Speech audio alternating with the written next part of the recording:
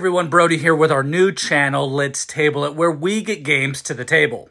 I have a copy of Maple Valley to unbox for you today. If you are unsure how the game plays, I would recommend my preview video on the Meeple Mountain channel. There you can learn how to play the game and see how the game works. Here, I will try to explain some of the game, but again, that video will show you more of the details. This is a game for one to five players and takes about an hour to an hour and a half to play. So, it's the first day of spring, and the critters of Maple Valley are preparing for the annual Spring Festival. While the adults prepare the village, the local children are tasked with searching the woodlands for the ingredients needed to make a dazzling variety of party favors that work well together and make sure that the festivities are ready to go by the time dusk arrives. Your goal is to be the critter who brings the most joy to the festival. You will achieve your score mainly by completing favors, especially ones that combine well for fun activities, or that feature other bonus scoring. You will bring each completed favor to a specific festivity. The more you supply to a particular festivity, the more you'll score. Points can also be earned by assembling a large group of friends, by collecting skill boosting patches, and from your stash of leftover resources. There are plenty of ways to make the festival very special. The game includes one game board, seven sun tiles, five pack player mats, 72 favor cards, seven festivity cards, six outpost cards, 40 patch cards, 36 friend cards, five starter friend cards, five critter pawns, 50 player cubes, which are changed to paw prints in this version. One first player worm token. This version has the upgraded wooden version because you know the early bird gets the worm.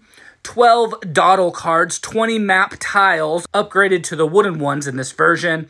13 Grove tokens, 6 Curiosity sites, 126 good markers, which again are wooden in this version, 54 Curiosity markers, wooden in this version, and 12 multiplier planks.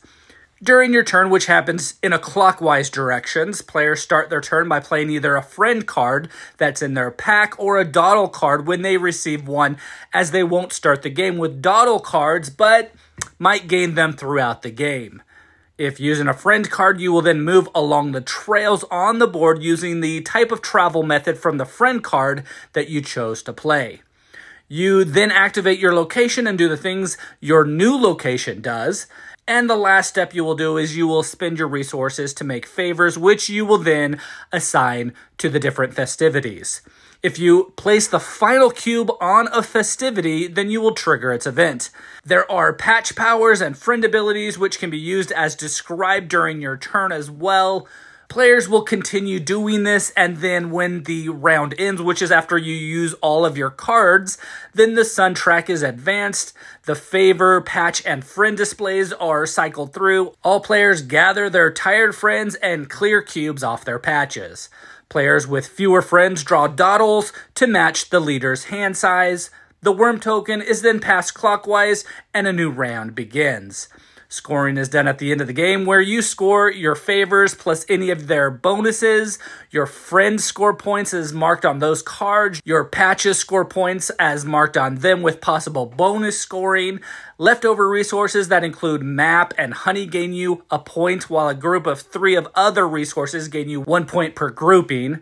Then the most cubes on each festivity will score points. The most will score four points plus one point per cube.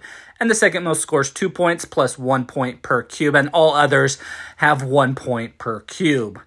This is a continuation of the Creature Comforts universe, which should continue to make more games within this world, I hope.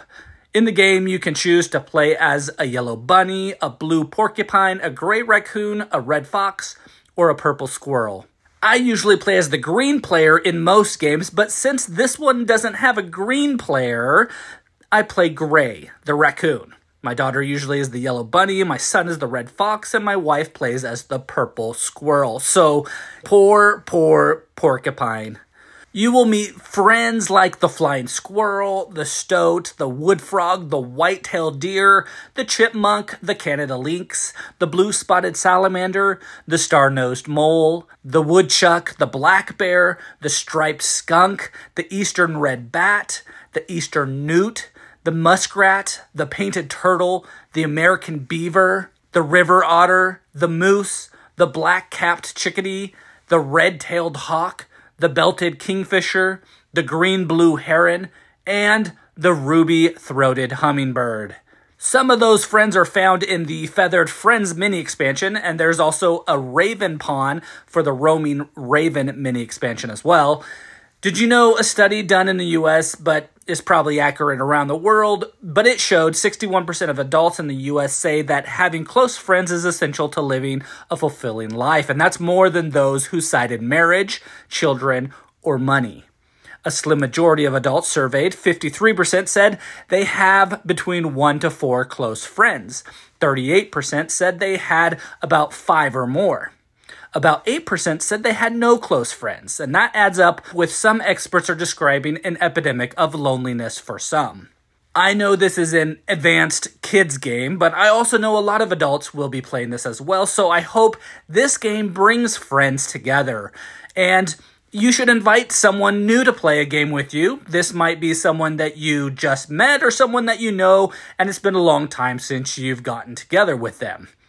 But again, this is Brody with Let's Table It, where we get games to the table.